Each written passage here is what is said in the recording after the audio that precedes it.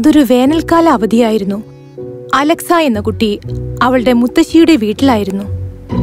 എന്റെ പൊന്നു മോൾക്ക് വിശക്കുന്നുണ്ടോ? ഇല്ല. എനിക്ക് കഴിക്കാൻ ഒന്നും വേണ്ട. എന്താ അച്ഛനമ്മയെ എന്നെ കൊണ്ടുപോകാത്തത്? മോളെ അവർ ബിസിനസ് ട്രിപ്പിലാണ്. വളരെ തിരക്കുണ്ടായിരിക്കും. മാത്രമല്ല മുത്തശ്ശി നിന്റെ കൂടെ ഇല്ലേ? എനിക്ക് മുത്തശ്ശി ഇഷ്ടല്ല. പക്ഷേ എനിക്ക് നിന്നെ ഇഷ്ടമാണ്. കൂടാതെ മോളിതൊന്നും നോക്ക്. ഞാനിതൊക്കെ നിനക്ക് കളിക്കാൻ വേണ്ടി വാങ്ങിച്ചതാ മോളെ. വേണ്ട.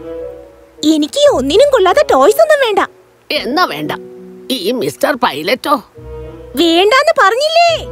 ഇത് പറഞ്ഞ് അലക്സ മുത്തശ്ശിയുടെ അടുത്ത് നിന്ന് ബാഗ് പിടിച്ചു വലിച്ച് അവളുടെ മുറിക്കകത്തേക്ക് കടന്നു ചെന്നു. എന്നിട്ട് കളിപ്പാട്ടങ്ങൾ ജനാലയിലൂടെ പുറത്തേക്കെറിഞ്ഞു ഇത് കണ്ട മുത്തശ്ശി ശരിക്കും അമ്പരന്നു. പക്ഷേ മുത്തശ്ശിമാരൊക്കെ എങ്ങനെയാണെന്നറിയില്ലേ? പേരക്കുട്ടികളെ സന്തോഷിപ്പിക്കാൻ അവരെന്തും ചെയ്യും. അവർ പിങ്ക് നിറമുള്ള ഒരു ചതുര പേപ്പർ എടുത്ത് അതിനെ മടക്കാൻ ആരംഭിച്ചു. അലക്സ അത് നോക്കി നിന്നു. അവളുടെ മുത്തശ്ശി കളർ പേപ്പേഴ്സ് ഓരോന്നായി മടക്കിക്കൊണ്ടിരുന്നു. പിന്നെ അതെല്ലാം തുറന്നു. പിന്നെ വീണ്ടും മടക്കി. കണ്ണ് ചിമ്മി തുറക്കുമ്പോഴേക്ക് ഭംഗിയുള്ളൊരു രാജകുമാരിയെ ആ മുത്തശ്ശി ഉണ്ടാക്കി കഴിഞ്ഞിരുന്നു. ആരാണത്? ഇവൾ ഒരു രാജകുമാരിയാണ്. നീ ഇതിനൊരു പേരിട്. കടലാസ് രാജകുമാരി? വെരി നൈസ് ഇതാ അവളുടെ മാന്ത്രിക തൊപ്പി. മാന്ത്രിക തൊപ്പിയോ? അതെ. ഇവൾ ആ തൊപ്പി തലയിൽ അണിഞ്ഞാൽ ഇവൾക്ക് മായാജാലം ചെയ്യാൻ സാധിക്കും. അതെയോ? അങ്ങനെ സംഭവിച്ചാ കൊള്ളാം. അന്ന് രാത്രി അലക്സയുടെ മുത്തശ്ശി അവളെ കട്ടിലിൽ കിടത്തിയുറക്കി തന്റെ മുറിയിലേക്ക് ഉറങ്ങാൻ പോയി. അന്ന് ഒരുപാട് ജോലിയുണ്ടായിരുന്നു. അതു കാരണം അവർ വല്ലാതെ തളർന്നു. ഹാ ഗുഡ് നൈറ്റ് മോളെ.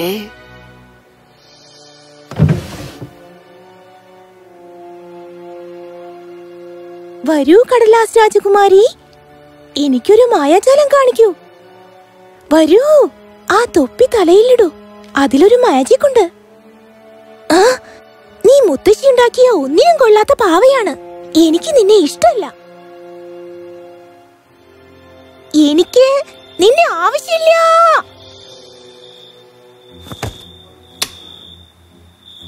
നിലാവ് മേഘങ്ങളുടെ മറവിൽ നിന്ന് പുറത്തു വന്നപ്പോൾ അതിന്റെ പാൽ പോലെയുള്ള വെളിച്ചം കടലാസ് രാജകുമാരിയിൽ പതിച്ചു. എന്നിട്ട്. ഓ നിലാവെളിച്ചം നിലാവെളിച്ചം. ഉടനെ പ്രവർത്തിക്കണം.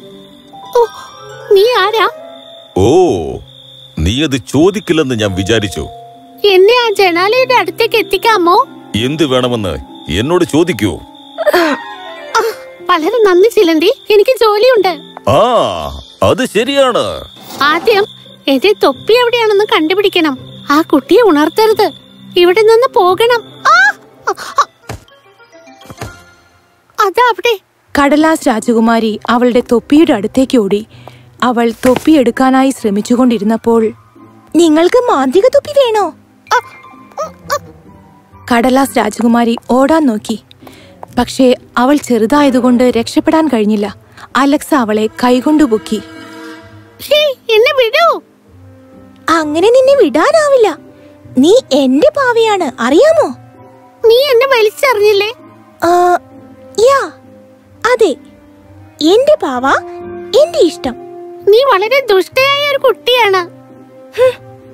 വേറെ എന്തെങ്കിലും പുതുതായിട്ട് പറ. പ്ലീസ് പ്ലീസ് എന്നെ വിട്ടേക്ക്. എന്റെ സ്ഥിതി എന്താണെന്ന് നിനക്ക് അറിയാമോ ആ ശരിയാണ്. അല്ല അല്ലല്ലല്ല പ്ലീസ് ഞാൻ പറയുന്ന കേക്ക്. സൂര്യൻ ഉദിക്കുന്നതിന് മുൻപ് ഞാൻ കൊട്ടാരത്തിൽ എത്തിയില്ലെങ്കിൽ പിങ്ക് മന്ത്രവാദിനി എന്റെ രാജ്യത്തെ നശിപ്പിക്കും. പിങ്ക് മന്ത്രവാദിനിയോ? അതെ. കുട്ടി ഞാനൊരു യഥാർത്ഥ രാജകുമാരിയാണ്. പിങ്ക് മന്ത്രവാദിനി എന്നെ ശപിച്ചു. അങ്ങനെ ഞാനൊരു മരമായി മാറി. എന്റെ ജീവിതം നശിച്ചു എന്ന് കരുതിയിരിക്കുമ്പോൾ ഒരു ദിവസം ഒരു വൃദ്ധ സന്യാസിനി എന്റെ അടുത്ത് വന്നു. അവരെന്നെ നോക്കി. നീ എന്തിനാ കരയുന്നത്?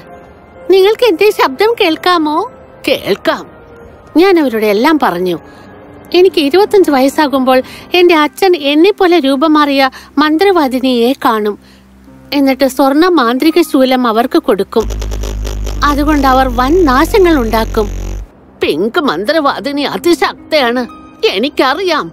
അവരുടെ ശാപവും അത് എനിക്ക് മാറ്റാൻ സാധിക്കില്ല. പകരം ഞാൻ വേറൊരു ശാപം പറയാം. പ്രപഞ്ചത്തിന്റെ പുതിയ ടെക്നോളജി പ്രകാരം നീ വേറൊരു രൂപം പ്രാപിക്കും. നീ പഴയതുപോലെ രാജകുമാരിയായി മാറും. എന്നാൽ നിലാവ് ഉദിച്ച് വെളിച്ചം വീശുമ്പോൾ നീ എഴുന്നേൽക്കും. എന്നിട്ട് മാന്ത്രിക തൊപ്പി അണിഞ്ഞ് നീ പറക്കും. ഒരു ഒഴുകുന്ന കൊട്ടാരത്തിലെത്തും. അവിടെയാണ് ആ മന്ത്രവാദിനിയുടെ ഹൃദയം സൂക്ഷിച്ചിരിക്കുന്നത്.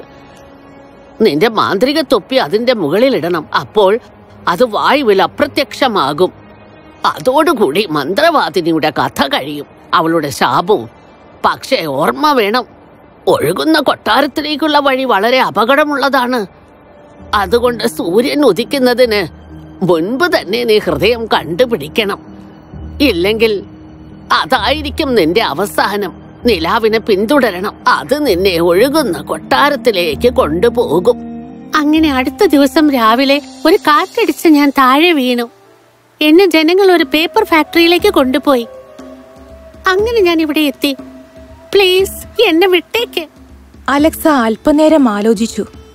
എന്നിട്ട് പറഞ്ഞു ശരി പക്ഷെ ഞാനും നിന്റെ കൂടെ വരും. എന്ത്? വേണ്ട. അത് വളരെ അപകടകരമാണ്.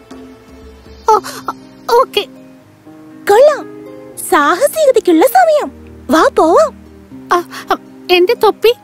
എന്നെ പറ്റിക്കരുത്. വാക്കാണല്ലോ. വാക്ക്. അലക്സ കടലാസ് രാജകുമാരിക്ക് തൊപ്പി കൊടുത്തു. അവൾ ആ തൊപ്പി തലയിൽ വെച്ച ഉടനെ അവളുടെ ശരീരത്തിൽ നിന്ന് സ്വർണ കതിരുകൾ വീശി. വൗ! പോകാം. ആ. കൊട്ടാരം എവിടെയാണ്? നിനക്കറിയാമോ? വേഗം വാ പോകാം. വേഗം!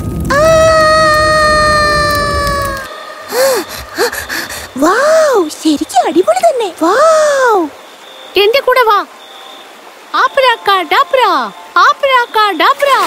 കടലാസ് രാജകുമാരി വെള്ളത്തിലേക്ക് ചാടി. എന്നിട്ട് ഉടനെ ഒരു മീനായി മാറി. ആ സമയത്ത് അതിശക്തമായ ഒരു കാറ്റ് വീശാൻ ആരംഭിച്ചു. അത് കൊടുങ്കാറ്റായി മാറി. വേഗം.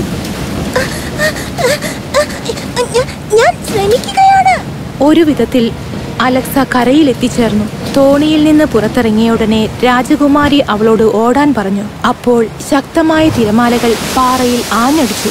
അതൊരു! ഞാനും വരുന്നു അലക്സയ്ക്ക് കൂടെ വരാനാവില്ല എന്ന് മനസ്സിലാക്കിയ കടലാസ് രാജകുമാരി ഒരു കൊക്കായി മാറി. അലക്സയുടെ ഡ്രസ്സിൽ പിടിച്ചു പൊക്കി ആകാശത്തിലേക്ക് പറന്നു. അപ്പോഴേക്കും രാക്ഷസ തിരമാലകൾ പാറക്കെട്ടുകളെ മൂടിയിരുന്നു. താങ്ക് യു ഓ നമ്മൾ രക്ഷപ്പെട്ടു. യു ആർ വെൽക്കം നമുക്ക് മുന്നോട്ട് പോകാം. നിക്ക് ആ ഒരു സംശയം. നിനക്ക് എന്ത് രൂപത്തിലേക്ക് മാറാൻ സാധിക്കുമെങ്കിൽ ഒരു ഡ്രാഗണായി മാറി അവിടേക്ക് പറന്നു പോകാൻ നിനക്ക് സാധിക്കില്ലേ? അതെ ഞാൻ ഇതുവരെ ഒരു ഡ്രാഗനെ കണ്ടിട്ടില്ല. അതുകൊണ്ട് എനിക്ക് ആ രൂപത്തിലേക്ക് മാറാൻ സാധിക്കില്ല. നന്നായി. ഇപ്പോഴെങ്കിലും നേരിൽ കണ്ടല്ലോ.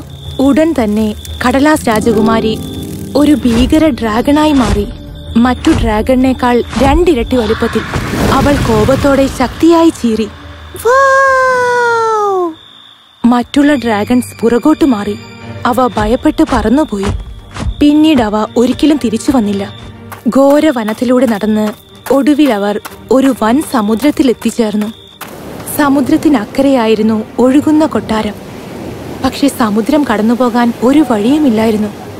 തിരമാലകൾ അതിശക്തമായി അടിച്ചുകൊണ്ടിരുന്നു കൂടാതെ മഴയും. നമ്മൾ ഇനി എന്ത് ചെയ്യും? മിസ്റ്റർ പൈലറ്റ് ഇവിടെ ഉള്ളപ്പോൾ ഭയപ്പെടേണ്ട. മിസ്റ്റർ പൈലറ്റ് എന്റെ ടോയ്? ഞാനാണ് ഇതിനെ കൊണ്ടുവന്നത്. എന്തെങ്കിലും സഹായം വേണമെങ്കിലോ? അങ്ങനെയോ? ആ സമയത്ത് അവളുടെ എല്ലാ കളിപ്പാട്ടങ്ങളും അവിടേക്ക് നടന്നു വന്നു വൗ! കളിപ്പാട്ടങ്ങളായിരുന്നാലും ഒരിക്കലും അവയെ വലിച്ചെറിയരുത്. അവയെ കൊണ്ട് ഉപകാരമുണ്ടാകും. അതൊരു നീണ്ട ദിവസമായിരുന്നു. അലക്സ കുറച്ചു നേരം ചിന്തിച്ചു. മിസ്റ്റർ പൈലറ്റ് ഞങ്ങളെ ഒഴുകുന്ന കൊട്ടാരത്തിലേക്ക് കൊണ്ടുപോകൂ. മിസ്റ്റർ പൈലറ്റ് ഇവിടെ ഉള്ളപ്പോൾ ഭയപ്പെടേണ്ട. ഞങ്ങൾ നിങ്ങളുടെ സൈനികരായി പിന്തുടരുന്നതാണ്. നമുക്ക് പോകാം. അതിനുശേഷം അതിശക്തമായ കൊടുങ്കാറ്റിനെ കടന്ന് അവർ ഒരു ഹെലികോപ്റ്ററിൽ പോയി.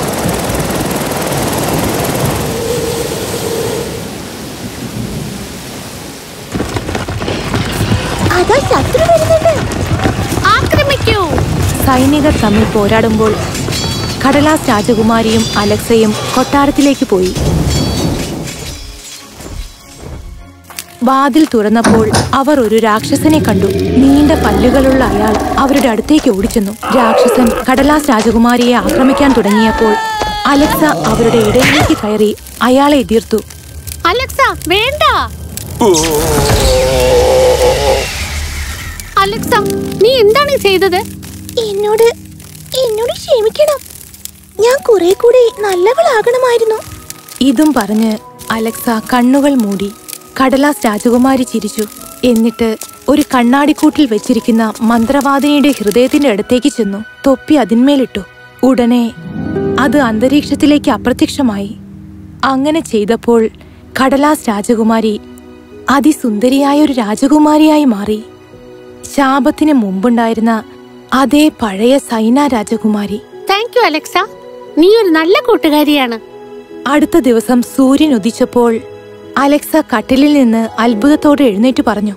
എന്ത്? എങ്ങനെ? ഞാനിപ്പോഴാ. എല്ലാം സ്വപ്നമായിരുന്നു. അലക്സ കൊള്ളാം. നീ എഴുന്നേറ്റു അല്ലേ? അലക്സ ഓടി മുത്തശ്ശിയുടെ അടുത്തെത്തി. അവരെ കെട്ടിപ്പിടിച്ചു. എന്റെ മുത്തശ്ശി എന്നോട് ക്ഷമിക്കണം. ഞാൻ മുത്തശ്ശിയോടും അച്ഛനമ്മമാരോടും മോശമായി പെരുമാറി എന്റെ കളിപ്പാട്ടങ്ങൾ വലിച്ചെറിഞ്ഞു. ഓ കളിപ്പാട്ടങ്ങൾ കിട്ടിയ ശേഷം എന്തിനാ? സോറി. എന്താ പറഞ്ഞത്? നിന്റെ കളിപ്പാട്ടങ്ങളൊക്കെ ഹാളിൽ വെച്ചിട്ടുണ്ട്. അതെയോ? അലക്സ ഉടനെ ഹാളിലേക്ക് ഓടിപ്പോയി. എല്ലാ കളിപ്പാട്ടങ്ങളും അവിടെ ഒരുമിച്ച് നിൽക്കുന്നത് അവൾ അത്ഭുതത്തോടെ നോക്കി. എല്ലാ കളിപ്പാട്ടങ്ങൾക്കുമിടയിൽ ആ പാവയും ഉണ്ടായിരുന്നു. അവളുടെ കടലാസ് രാജകുമാരി. Thank you thank you so much മുറിയുടെ ഒരറ്റത്തു നിന്ന് മുത്തശ്ശി പുഞ്ചിരിയോടെ അത് നോക്കി എന്തുകൊണ്ടാണെന്നോ? കാരണം അവരായിരുന്നു സൈന രാജകുമാരിയെ വിമോചിപ്പിച്ച സന്യാസിനി. അങ്ങനെ അവർ പേരക്കുട്ടിയെ ഒരു പാഠം പഠിപ്പിച്ചു.